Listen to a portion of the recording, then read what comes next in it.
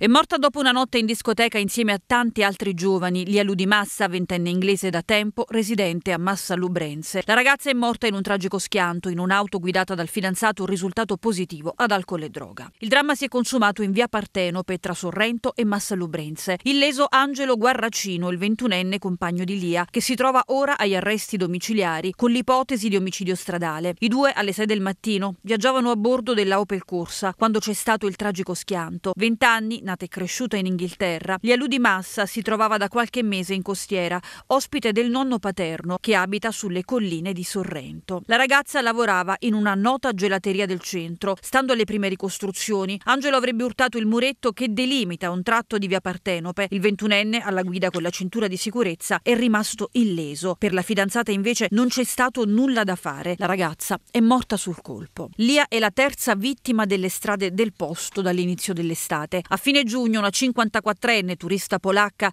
era stata travolta da un centauro. Qualche settimana più tardi era toccato al 48enne Giulio Aiello, l'uomo che viaggiava in sella alla sua moto. Si era scontrato con una vettura che procedeva in senso opposto nello stesso punto in cui era stata travolta e uccisa la turista polacca.